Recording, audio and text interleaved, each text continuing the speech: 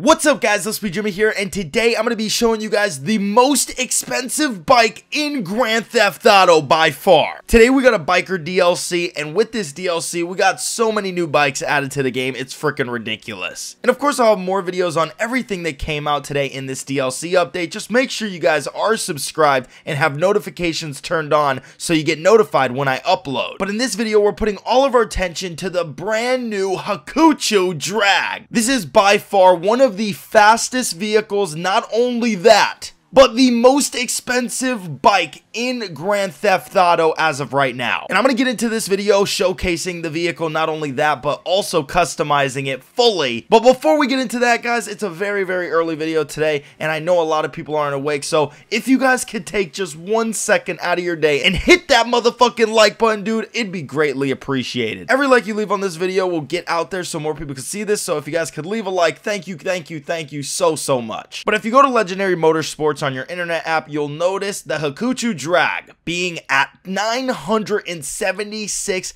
thousand dollars. And that's not even just customizing it, dude. That's not even close to the price that it actually comes out to. So I know a lot of people are asking already, Jimmy, how's the vehicle? What do you think about it? Because it's a million dollars. You know, you want to know if it's worth it. And to be honest, personally, I think this vehicle is for sure worth it. I think it's an OP vehicle. There's a lot of pros to this vehicle, not that many cons, but to be honest, I love the acceleration. I think it has the best acceleration than any other vehicle in the game by far. It's freaking crazy, dude. Like, you guys should just test this vehicle out for yourself. It's freaking amazing. And there's probably a lot of other perks to this vehicle that I just haven't discovered yet, but I just think it's a pretty awesome vehicle to just drive around with and have fun. But we're going to take it to the mod shop and customize it, and if you're actually wondering how to buy a mod shop, well, I'm uploading a video in just a bit on how to buy a mod shop and how to, you know, modify all your vehicles. I'm planning on updating the description as soon as I upload the video so you guys know where to go to. So just check the description real quick. If it's not there, it's going to be up on my channel very shortly. So customizing this vehicle, there's actually a lot of things you can do with this. I mean, a lot, dude. Like, you could change the whole body. You could literally change the fenders on the wheels. You could literally change the whole form of the body, guys. I mean, there's a lot, a lot, a lot of stuff you could do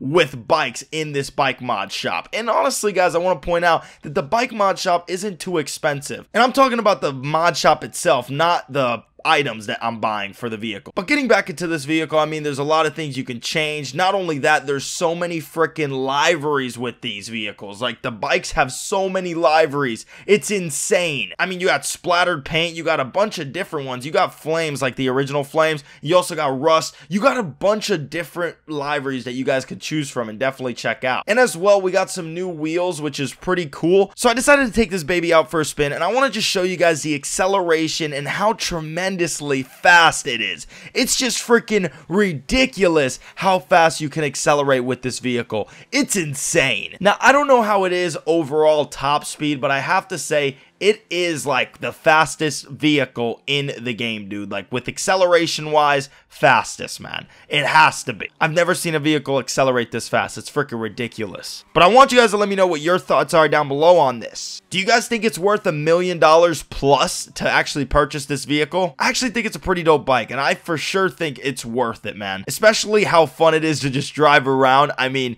there's one thing you can't do on it, which sucks is wheelies. You could sometimes do it, but dude, I have to say, it, it is an OP vehicle. But in the end, I like to hear what you guys have to say, your thoughts and opinions on this. Definitely let me know down in the comment section below. And I'm to have more videos today showing off everything that came out with this DLC, everything you need to know, anything that you may have missed, I will update you guys with here on my YouTube channel. Just make sure you guys have clicked that subscribe button and have notifications turned on so you always get notified whenever I upload. And like I said, man, if you guys could take just a few seconds out of your day to hit that motherfucking like button, thank you, thank you, thank you. Each like you leave will get this video out there and it really helps a lot. So thank you guys so much for trying to branch my videos out there so more people can see. But anyways, guys, I love you, love you, love you, you awesome mother lovers. Take care and I'll see you in the next one.